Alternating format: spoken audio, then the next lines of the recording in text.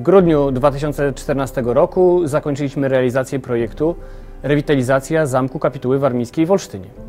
Był to projekt składający się z wielu elementów. Środki pozyskane z Unii Europejskiej pozwoliły nam zakonserwować szczyty skrzydła e, północnego, e, obydwa zabytkowe dachy, ale przede wszystkim e, zabezpieczyć zamek przed dalszą dewastacją.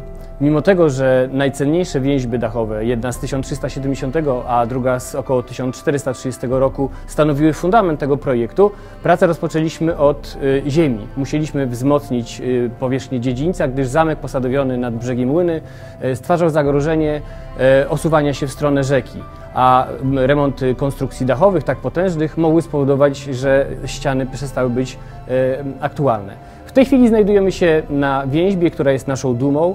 Jest to oryginalna konstrukcja pochodząca z przełomu XIV e, i XV stulecia, a zatem jest to konstrukcja, pod którą przebywał Kopernik, który na zamku w Olsztynie mieszkał w latach 1516-1520.